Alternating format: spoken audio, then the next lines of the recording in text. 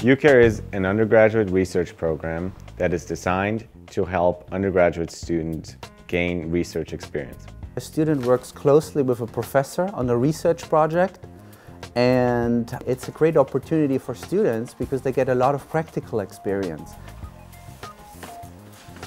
It is one of the top undergraduate research programs in the nation. You get paid and it really helped me solidify my decision to come here. What you get to do as a student, you choose your own research topic, so you can choose any interest area. I personally chose a person from Nebraska, Alvin Johnson, who saved Jewish refugees during World War II. He was originally from Nebraska and graduated from here in 1902. The University of Nebraska in Lincoln is the perfect place to study Alvin Johnson because we have large parts of his archives.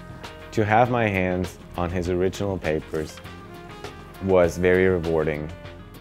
It was a sort of connection you felt to that person that you would not reading about him in a book.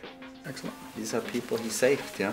Working with a UCARE student is also very beneficial, I think, for professors because uh, learning is not a one-way street. The feedback that uh, I get from the UCARE student is fantastic. I can learn a lot from my student. I've developed a relationship with him not only as a professor but also as a research partner for me to get published together with Dr. Steinacher. Signaled to me that writing this paper was more than just getting a grade, but you were actually doing it for other people as well. Mm-hmm.